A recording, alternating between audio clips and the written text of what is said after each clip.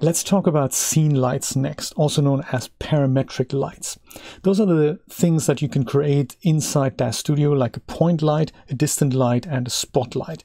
Distant lights kind of gone out of favor a little bit because we now have HDRI, so I'll be focusing on point lights and spotlights. And you can create them just like cameras or primitives with the menu in Daz Studio. And you can use them to great effect. Know that under the hood, I'm kind of looking ahead here. Under the hood, they're actually mesh lights, as we'll soon find out. We'll talk more about a different way of setting up mesh lights in the next video.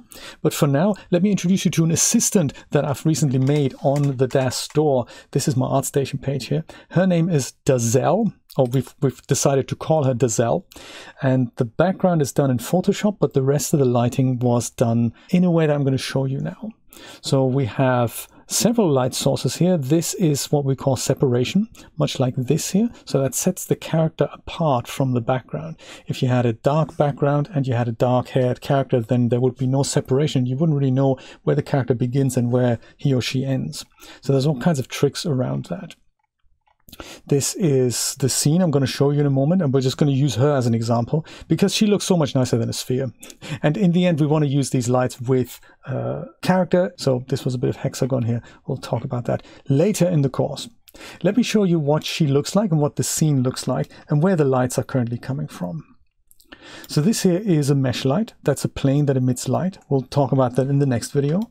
And these three here they're all spotlights with varying intensities. You can see that this one here has a wider cone than that one. This one has got much it's got much of a smaller cone. This one's also got a wider cone. So a spotlight is a thing that emits light and shines it into one direction. And then a point light is a thing that works much like an old-fashioned light bulb in the ceiling. It's a point that emits light into all directions, like a candle. Let me go and delete literally everything from the scene except for the character. So this is all we have left. This is another camera here. Let's go and remove that as well.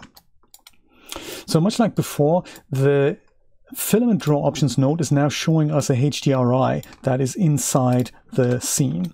Let me go and take that HDRI out, not actually on the environments tab this time. I can just use the filament draw options node for that, that we've learned so much about in a previous episode.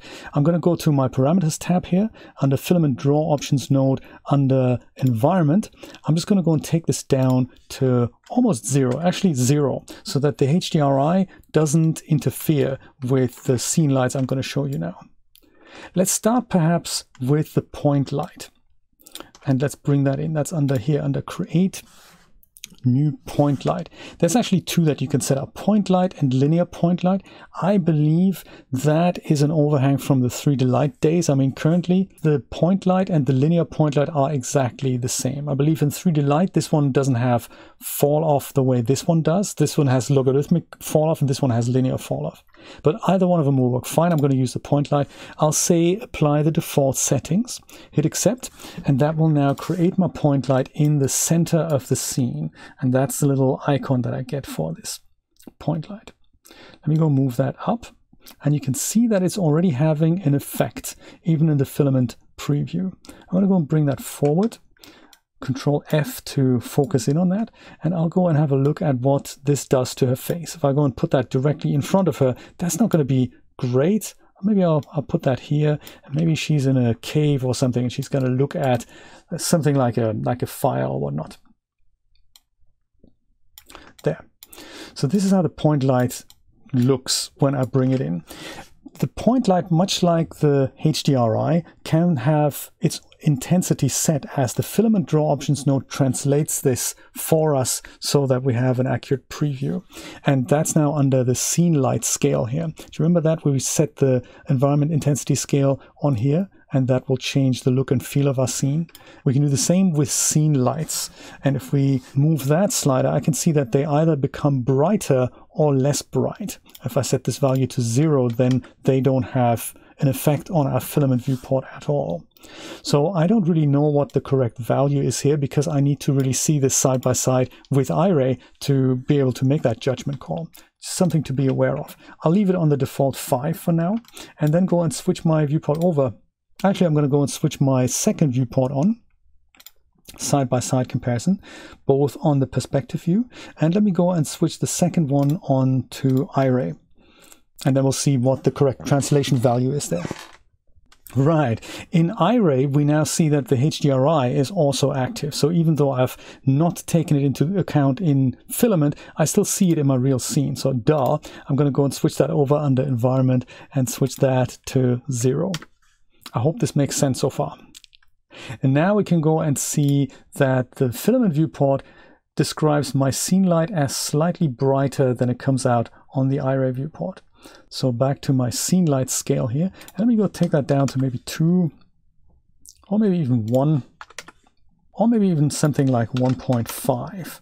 That's almost like an accurate representation in filament that we get in Iray. So now I have that value. Much like we discussed the environment intensity value, now I have my scene lights value. And for the distant lights, we had another value. If we wanted to use those, we could adjust that here, just so that we get an accurate filament preview. Let's talk about the properties that the point light has. And we'll just watch both viewports and see what happens. So with the point light selected over on the parameters tab, we have several options here. I'll close the general down. There's a display options here, but the ones we're interested in are under lights. That can also be expanded. We have a shadow type here. That's less important for us because in Iray, everything casts ray traced correct shadows anyway because it's an unbiased render engine. But if you wanted filament to cast shadows, you can switch this on. Either deep shadow map or ray trace will work. They both do the same thing. If I switch this on, then my point light will cast shadows. And we'll look at this in a moment. I'll leave them off for now because this is literally just for the filament preview and not for Iray. Under area, I can set my light geometry. So even though it is called a point light, I can change that to something else. I could make that not a single pixel emitting light, which is a, which is what a point light is. I can also make that larger. I can set that to something else like a disk or a rectangle or a sphere or a cylinder. Under height, I can change the size of something that isn't a point. And render emitter is do I see this light in my render or not? We'll look at that when we look at a slightly different light geometry. Under photometrics, I can set the actual intensity of the light as well as its light temperature. So temperature is the color of the light. The outdoor sunny day is kind of 6,500 Kelvin. Uh, fluorescent light is about 4,000. And then an incandescent light, like a light bulb, is about three, three and a half thousand. Anything above 6,500 will make your light look a little bit bluish. 6,500 is kind of whitish with a blue tinge. 4000 is a bit of a yellow tinge, and then it goes further down into the red. The top here, luminous flux, is the real intensity. So the default is set to something unbelievably tiny. And we usually, to make this light work, especially with things like spotlights, we need to increase that by 10 or by 100. So you can do that in two ways. You can either type in the value, like say 10,000, hit enter, and then you'll see the effect that that has on the point light. It's much brighter. You can also use the slider, of course, drag it up or drag it down. That'll have that same effect, or alt click to bring it back into its default position. But you can do something even cooler, and that is if you wanted something like, say we had 10,000, and you wanted the light to be twice as bright, and you don't want to fiddle with the slider, and you don't want to type in 20,000 and enter because that's like that's like six key presses and maybe that's a bit too much for you. You can also go to the end of the number with the right cursor and then type in as if you're multiplying something so you can do maths in these fields as well. That's very cool. Works in every field across DAZ Studio. So you can say times 2 and then hit enter and that will also double the intensity of the light. There we go. That's how that works. And it works with other things as well. It works with the division as well or addition. So if I say divided by 5 now, like that forward slash 5, enter, then that'll be a fifth of its previous illumination. Or you can go say times 10 and then make it 10 times as bright. It's kind of nice to be able to know these little tips and tricks. I think this one, Changeling Chick taught me this one, so I, I really appreciate that. I'm going to go and leave the intensity here on say 40,000 and just move the light forward a little bit so that it loses its intensity. Well, it doesn't actually lose intensity. It stays as bright as it did before, but by moving it further away from the object I'm illuminating, it will illuminate the object less bright. So it behaves like it does in reality. I'll go and move in on my model here. and just have a look at the light quality now. Maybe we'll do this just in Iray. So let me go and move this over to a single viewport again. And switch this viewport over to Iray. And I'm still having my point light selected. And let's talk about the effects of light geometry on my scene. So notice the shadows underneath her face. They're very harsh and in her eyes and in her ears. And that's because the light is being emitted from a single pixel, like a point. And that gives extremely harsh shadows. If I wanted to make this softer, I can just increase the size of my geometry. And that happens under here, under area and I can change this from a point geometry to something like a disk. Disk is like flat and looks like that, of course. And if we go and give DAZ Studio a minute, this is why, you know, rendering this with a primitive is actually much, much faster. Um, I can see that the shadows underneath her chin look a lot softer. It's another one of those tricks. If you have issues like this, there's several ways to speed up preview renders, and we'll talk more about this. Usually what I would do is I'm going to go and switch off the hair that is a lot less geometry that needs to be rendered there and transparency. And the other thing that you can do is change the character from their current subdivided resolution to its base resolution. Makes them look a little chunkier, but also means that DAZ Studio doesn't have to calculate quite that much. But without hair, we get to see a much softer shadow underneath the chin now. If that isn't soft enough for me, I can go and leave it on disk and change the height parameter here.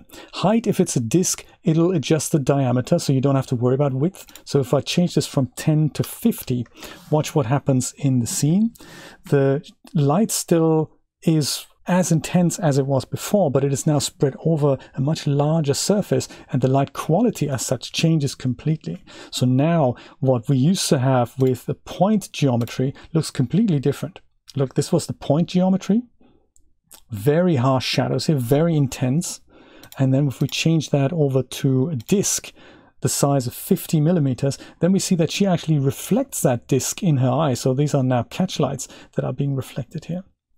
So maybe 50 was a bit too much. You can change that back down to something like 20 and then play around with this and see what light effect you like. But that is kind of, that's kind of an interesting thing to know about. If you go around here, eventually we will see that this is actually the disk we've just created. That is what's become of our point light. So be aware of that. As I change that size here from 20 down to 10, then this is really what it does. It changes the actual light emitter there. As I said, it is technically a mesh light, which is a surface that emits light. Uh, just we get to adjust it under these properties here, which is kind of nice.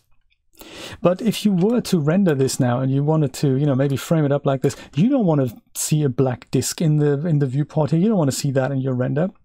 Thankfully, there's a way to disable that very quickly, which is with this option here, render emitter. It's switched to on by default, but if I click on it, then it'll be off. And that means the light itself is still being rendered, but the emitter itself is no longer visible, which is kind of cool. Two-sided is another one of those effects. If you select that, then that disk is going to emit light to the front or to the direction of the normals as well as the other direction. That is disabled by default.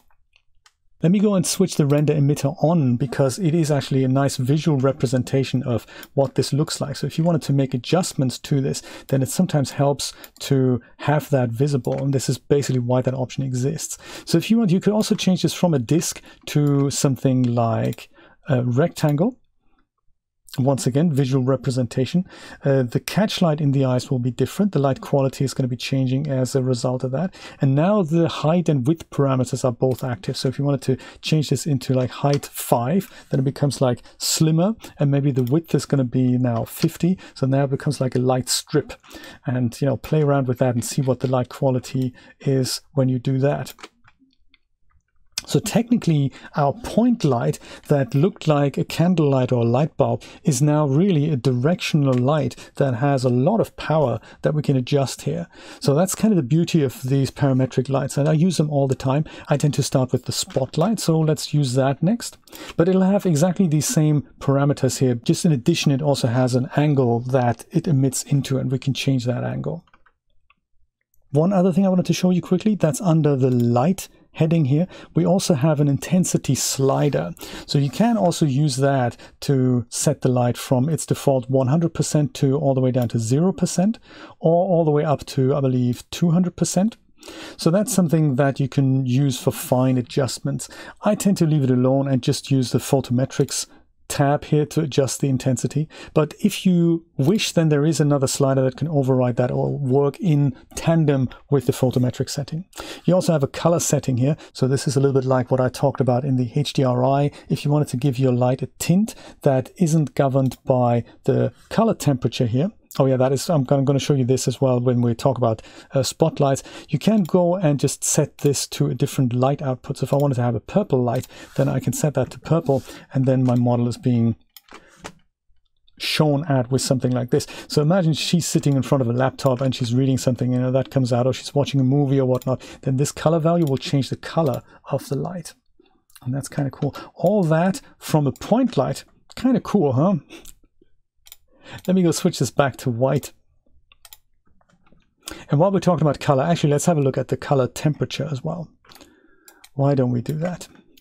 Under photometrics, his temperature. So 6500 is what this looks like. If I go and switch this to 4000 now, deliberately, then you'll notice that she's getting a bit of an orange glow. So that's when the sun sets and when it rises. This is what the light starts looking like. And then eventually it goes in increments over to something like this. And then I think on bright sunny days, it could reach something like maybe 8000 even sometimes so that you know if you if you increase that value it just goes subtly bluer. I think you can go and increase that to 10,000 is the max that you can set but you can make it seriously small like 500 degrees kelvin. We wouldn't really get that in reality but because this is 3d everything is kind of fake so you can actually put that in. So it's like maybe she's she's Dazzle from hell now. Crazy stuff. So usually this is never being set lower than I think 2500 in reality. This is come these lights exist, so I tend to use values between either this or slightly lower, like around 3200, maybe 4000, 4500, depending on what the effect is that I'm after, and also depending on the scene and the skin tone. So sometimes, like in this particular character, I think she works better with a slightly bluer tone that's what the very accurate color temperature does.